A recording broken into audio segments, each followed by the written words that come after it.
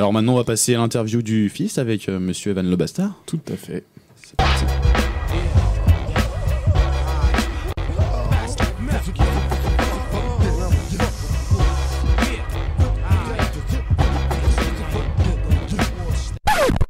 Messieurs, dames, pardonnez-moi d'interrompre à l'instant la musique, mais nous avons un invité de marque que j'aimerais accueillir comme il se doit.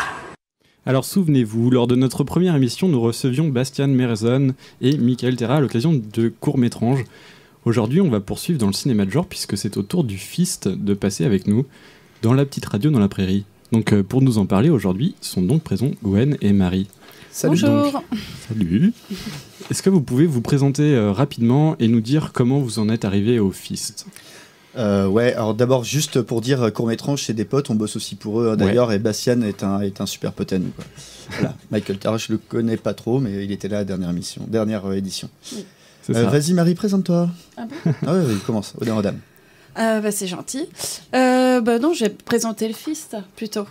Donc, euh, bah, alors le Fist, en fait, il faut revenir euh, 10 ans en arrière, mais Ouais. ça va pas durer longtemps. On avait euh, une autre association quand on était jeunes, euh, beaux étudiants, tout ça, Étudiant ici même. étudiants ici même à Rennes 2. Ouais. Voilà, qui s'appelait euh, le Absurd Picture Show. Et en fait, on avait, euh, on avait passé, on avait fait un festival In God We Trust. Donc ça, c'était notre gros, euh, gros boulot en fait. Notre grande première, ouais. Voilà. On avait passé euh, donc la nuit des morts vivants, Branded et Cannibal Holocaust. Donc Là, juste fac. là, au tambour. Juste là au tambour, voilà, c'est incroyable. Et, euh, et ça avait super bien marché, on était tout contents. Et euh, bah, dix ans après, on s'est dit, bah, on va refaire la même chose. Et on va pas s'appeler de la même manière, on va s'appeler le Fist. Enfin, ça, c'est un copain qui nous a soufflé le super. Acronyme. voilà. Mm. Fist, donc film insolite et séance trash. Voilà. Et donc, euh, bah, on s'est réunis avec euh, des copains et on a créé le Fist euh, il y a un an et quelques Ça mois. C'est ça? Ouais, on a à peu près un an, ouais. Un an et quelques mois, oui. Ok. On m'entend pas? Si, si, très bien. C'est un, bug- de la technique. Et voilà. Et donc, notre but, c'était de passer les films qu'on aime et euh, plutôt des films de genre, euh, pas des nanars. Ça, on s'expliquera. Voilà. On a un- Moi, j'ai un problème avec les nanars, mais bon. Bah, c'est chiant en fait. Bah ouais, les bandes annonces des nanars sont rigolotes et après, euh, tenir une heure et demie un nanar, ouais. C'est dur. Bah, en fait, la, di- la- la distinction qu'on fait, c'est que euh, le nanar, c'est un film euh, dont on se moque et nous, on parle, on, on rit plutôt avec les films, les films qui sont faits exprès, même s'ils jouent Ouais. sur le côté mal fait, comme euh, quand on a passé Captain Orgasmo, qui était notre première séance. Euh, voilà, c'est un Un film qui est fait succès. pour faire rire, voilà, et pas un film euh, dont on se moque parce que euh, au bout d'une heure et demie, c'est pénible, quoi. D'accord. Voilà.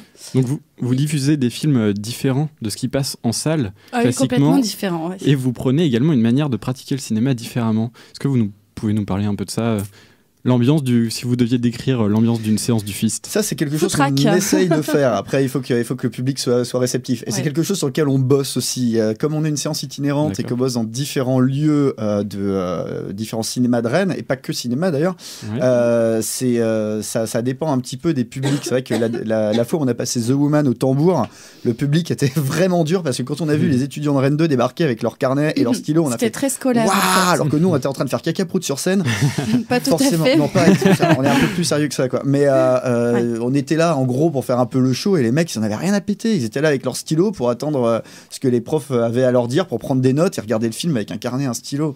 Voilà. Et ce qui est super bizarre, c'est que quand on passe au diapason, les mecs, ils sont là pour, pour délirer, pour regarder un film qui leur fait envie, pas pour prendre des notes, quoi. Et là, Mm. vraiment, on a un public qui est plus. Ouais. euh, qui est plus Parce qu'en fait, euh, sympa, ils viennent pas juste voir un film, ils viennent voir une séance du fist. Voilà. Et c'est vrai que Sans- ju- Vas-y, vas-y. juste expliquer euh, qu'est-ce qu'une séance du Fist?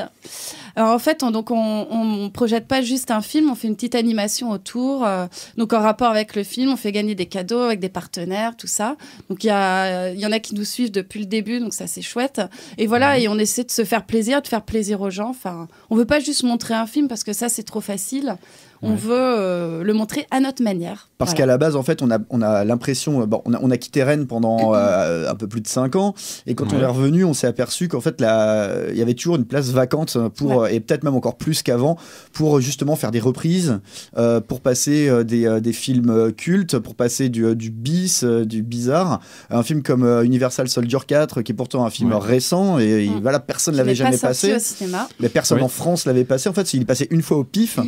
Et, euh, euh, et ensuite, jamais, quoi. Donc, euh, ça, c'est le genre de films qu'on pense qui sont importants à montrer. Des, Mm. même des vieux films, des films nouveaux, on n'a pas de limite euh, Mm. temporelle. Mais euh, par contre, euh, on veut monter les films qui sont montrés ni dans les salles à réessai, euh, ni, dans les, euh, ni dans les salles de euh, blockbusters, euh, comme au Gaumont, même si on adore les blockbusters, il y a Ouais, toujours une place vacante, quoi. D'accord, donc tu parlais des salles, donc euh, comment vous décidez des- de la salle selon, C'est selon le film que vous allez projeter Comment ça se passe Non, c'est les gens qui veulent bien que nous. on devrait pas dire ça, on devrait dire que c'est juste par- le partenaire idéal. Mais Ouais. non, voilà, il faut Ouais. qu'il il faut que les gens veulent bien de nous aussi. Bah après, ça se décide. euh, Par exemple, pour la nuit du fantastique, bah, Ouais. c'était avec Court Métrange. Et comme on avait déjà fait ça au Cinéville Colombier, bah, ça s'est refait au Colombier. Quoi. Enfin, c'était normal de le refaire. euh. On Le diapason, bah, on est très fidèle, parce que Mm. ça se passe super bien euh, bah, avec Cinémaniacs. Et Mhm. euh, voilà, c'est, je sais plus comment ça s'est fait. euh. Ton micro, Marie. Je sais plus comment ça s'est fait au départ. Euh, si- S'ils nous ont contactés ou si Non, on, c'est nous les qui sommes allés les voir. et puis Ouais. ils, étaient, ils étaient juste ravis parce que la première séance, c'était Captain Orgasmo. On a dû faire 467 C'était personnes. un truc complet, archi complet à craquer. Donc, euh, pour une première séance, c'était génial. Quoi. Ouais. On n'a jamais refait aussi bien, hein, mais bon. Et c'était gratuit. ouais, ça aussi. Mais vous- Predator, ça va être gratuit aussi. Oui, justement, j'allais en Oui. parler. On Vous allez essayer tous. avec euh, Predator Oui. de John McTiernan. Ouais. Donc pourquoi vous avez choisi ce film? Pourquoi avoir décidé de projeter ce film? On projette euh, non seulement des films qui sont euh, euh, pas très connus ou pas très montrés, comme on, Mm. peut, on peut parler de Captain Orgasmo, qui est quand même pas hyper connu, ou alors même Calmos de, de Bertrand Blier, qui était qui est un espèce de petit chef-d'œuvre du cinéma absurde français, mais qu'on voilà, qui est, qui est pas un film de Blier comme Les Valseuses qu'on qu'on connaît vraiment. Et, euh, et Predator, c'est aussi un film culte, donc on sait qu'il a ses fans, mais c'est un film qui n'est pas vraiment non plus super souvent montré au cinéma. Ouais, surtout De- au cinéma. De temps en temps, surtout avec euh, Free John McTiernan. Euh, maintenant qu'il est en tôle, on voit un peu plus ses films. Merci. euh, je vais me faire péter la gueule par Free John. Non, mais j'arrête pas en plus. Ils vont finir par me détester, les mecs. Et, donc, du coup, ce film-là, qui est, génial pour plein de raisons, de manière cinématographique, et par les, par, pour les punchlines complètement dingues, euh, Mm. et qu'on a tous envie de hurler. euh, Mais parce qu'on va le passer en VF, on a fait un sondage et euh, les gens veulent de la VF. Ouais, ouais, ouais. bah, Et pourtant, on défend la VO, évidemment, mais là. euh, Ça dépend pour quel film. Il y a- voilà. Il y, a des films qu'il faut voir en VF. Quoi. Ouais. Y a-t-il un flic Faut le voir en VF. Ouais. Voilà. On va passer aussi. Oui, voilà. Donc cette année, il y a eu quelques films de genre qui sont sortis. C'est c'est quoi votre coup de cœur euh, de cette De, année de ce qui est sorti cette année? Ouais, sorti cette année. Snowpiercer. Ah ouais, Snowpiercer. de Bong Joon-ho, on l'a vu. de tous les euh, autres films, euh, que ouais. ce soit de genre ou pas. Quoi. Et Universal. Soldier 4 aussi, même Ah si ouais. c'est pas sorti au cinéma, moi je me suis pris une grosse claque. euh, Mm, mm, mm. Je pensais pas, parce qu'avec un film avec Van Damme et Dolph Lundgren, pas, Ah, Toujours euh, génial, Vandame. Oui, oui. Et Lundgren aussi d'ailleurs. Non, et là, le revoir en salle, justement, au Cinéville, euh, c'était incroyable, quoi. Enfin, le, le son, enfin, pour moi, c'est un film, euh, un ovni. Et ça, Ouais. ça fait plaisir de voir que ça existe encore. Rien à voir avec le reste de la franchise. Non. mais, euh, voilà. C'est peut-être aussi ce qui a valu le fait qu'on n'ait pas énormément de gens qui soient venus à la séance. C'est Mm. que quand on distribuait les, les flyers, quand on mettait les affiches, les gens disaient Quoi? Universal Soldier Ah, Vous êtes de notre gueule Mais non, les mecs, c'est vraiment bien, on vous le jure. C'est le quoi. 4. C'est le boulot qu'on essaye de faire avec le Ouais. Fist, Mm. tu vois, aussi de, faire changer les, les regards. Hmm. Par Ouais, exemple, voilà. pour, euh, je pense que pour pas mal de gens, euh, Predator, ça reste aussi le film en VHS, VF, Panscan Ouais. qu'ils ont vu euh, euh, Mm. dans les années 90. euh, mais, mais en fait, c'est quand même plus que ça. Et le voir sur un grand écran en bonne qualité, ça peut faire changer les visions aussi du film. Ouais, puis il tient complètement la route. Enfin, le, le monstre est très, enfin, il est très crédible encore, même à l'époque de la 3D. euh. Parce que voilà, on l'a, bah là, on l'a revu euh, pour faire, euh, pour faire les animations et euh, on l'a, on l'a revu avec plaisir. Enfin, à chaque fois, c'est des films, voilà, on a envie de les montrer.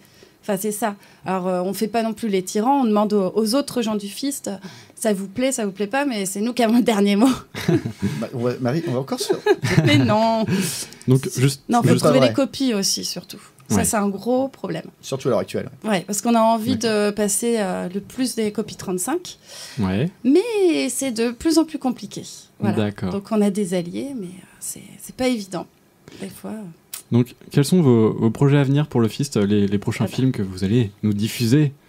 Alors, on va, on va parler juste de, de ce qui est sûr, hein, euh, Ouais. parce que les, les- projets, on peut pas en parler, vu qu'on n'a pas envie de trop te décevoir. Euh, donc, effectivement, on a le 10 décembre Predator au diapason. Euh, ensuite, en janvier, on embraye avec euh, Walk Hard. Euh, c'est- oui, toujours au diapason. On fait la fermeture et Ouais, l'ouverture du, euh, du diapason. Euh, donc, euh, Walk Hard, euh, quand vous parliez d'ailleurs tout à l'heure de, euh, De Tenacious de D. Tenacious D, Mm. ça fait vraiment penser à ça. Parce que c'est un film musical, je sais pas si vous l'avez vu, qui est une espèce de parodie, plus ou moins, euh, de, de biopic de, de, Bah, de en stars fait, de la chanson. ouais, c'est euh, c'est un peu Walk the Line, donc Ouais. avec Johnny Cash. Voilà. Ouais. Et là, pour le coup, là, tu as une vraie BO parce Voilà. que autant euh, pour euh, Tenacious D, c'est chouette d'entendre la BO quand tu as vu le film, autant Walk Hard, tu- je pense que les yeux fermés, tu peux, tu peux, euh, tu peux Ouais. écouter la BO. quoi. C'est du, c'est du Johnny Cash, même. Même encore en mieux parfois quoi. Vraiment, vraiment, c'est, vraiment, c'est incroyable de voir des mecs qui font des comédies mais ils se cassent le cul à faire une BO qui soit aussi parfaite comme si franchement comme si euh, le, le, le, le mec avait vraiment existé, avait vraiment été un vrai chanteur. Je sais même pas comment ils arrivent à faire ça. Et c'est avec John Cirelli, euh, qui est un acteur complètement merveilleux et euh, qui a une tronche un peu bizarre. Euh, ensuite, le 6 février, on va passer euh, Forbidden Zone. Alors, à l'IFA. De Richard Elfman, le frère de Danny Elfman. Voilà, qui est un, une espèce de truc. Tu parlais du Rocky Horror Picture Show, c'est un petit peu l'alter euh, ego du Rocky Horror Picture Show. Ouais, quoi. ouais. C'est un film complètement ovni, musical aussi, euh, avec euh, des quelques acteurs connus. Bah, si t'as Danny Elfman d'ailleurs qui joue euh, qui joue le diable là-dedans. Ouais. Il était sorti à l'origine en noir et blanc, et là Richard Elfman qui a dit qu'il était fan du Fist. Euh, euh, veut nous le passer en version colorisée, Voilà. qui est euh, jamais passé nulle part, quoi. Donc ça Donc pourrait ce être serait une vraiment première, génial. donc on est super content. Ouais. Et c'est euh, ouais, c'est un mélange entre John Waters et le, le Rocky Horror Picture Show. Mm, mm. Voilà. Et donc le 1er avril, et c'est pas une blague, il y aura mon film préféré que j'ai vu 15 fois, c'est Y a-t-il un flic pour sauver la reine Alors on a trouvé une, euh, une, une bande euh, 35 mm et en VF. Ouais, Comme je vous le disais, celui-là il faut vraiment qu'il passe en VF, donc j'en ai super content. Et ça c'est tout pour les, euh, voilà. pour les Après, plans on a plein de, on, a, on a plein de projets plein de dans notre... de euh, projets, mais euh, on peut pas, on peut pas dire. on peut pas tout vous dire. Voilà. D'accord. En tout cas, euh, pour le dernier, notre technicien est, est plus que ravi, visiblement. Il y a fait des grands flic, mais gestes c'est c'est cultissime. Bah bien sûr. C'est des gens qui se foutent un peu de ma gueule, mais j'adore Moi, ce qui- le passage qui me tue à chaque fois, c'est j'espère que vous avez pensé à vous protéger. le coup de l'oreiller dans la gueule aussi. Enfin, en fait, tout. Mais tout est génial. Il y a, il y a- il y a un gag toutes les deux minutes et le film dure une heure et demie, quoi. Donc, euh, putain, faut se faire les abdos avant de le voir. Donc, on n'oublie pas, hein, le 10 décembre, Predator. Ouais. Ouais. Donc, au diapason. Et c'est gratuit. Et c'est gratuit, surtout n'hésitez ouais. pas. Donc, voilà, je pense que c'est bon pour le fist. Donc, euh, voilà, c'est si bon vous- pour le fist. c'est bon pour le. Et un peu ambigu, Evan, là. Donc, vous pouvez, euh, vous pouvez n'hésitez pas à venir, hein, vous pouvez venir gueuler les, les, les répliques avec nous euh, sur Il Predator. faut, il faut venir Et euh, gueuler les répliques. Nous, on y sera, en tout Ah, cas. On bien. ira toute la radio. Puis n'hésitez pas à aller sur notre site, hein, vous tapez Rennes dans Google, surtout tapez bien Rennes. Rennes. si vous- Oui, vous allez avoir des images euh, un Voilà, peu et euh, à. Rennes, vous allez tomber sur notre WordPress direct et notre Mm. Facebook après, enfin voilà.